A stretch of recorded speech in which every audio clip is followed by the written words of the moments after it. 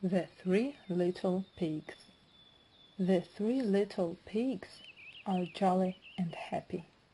They like to play football. But soon it is cold autumn. They need houses.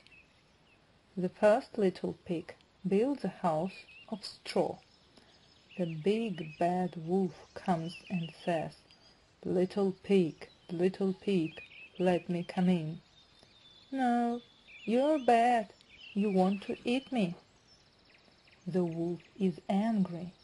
He huffs and puffs and blows the house down.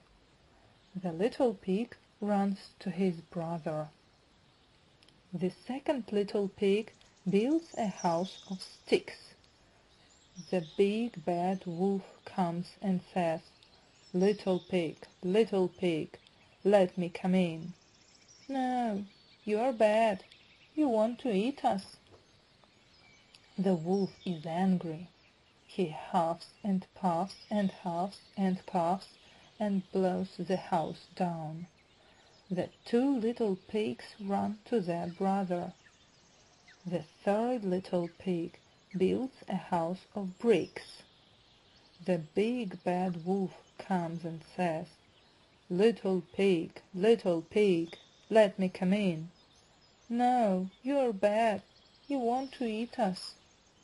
The wolf is angry. He huffs and puffs and huffs and puffs and huffs and puffs, but he cannot blow the house down.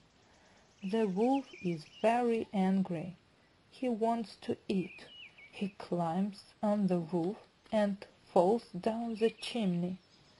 The bad wolf falls into the fire and burns his tail. So he runs away, and the three little pigs live happily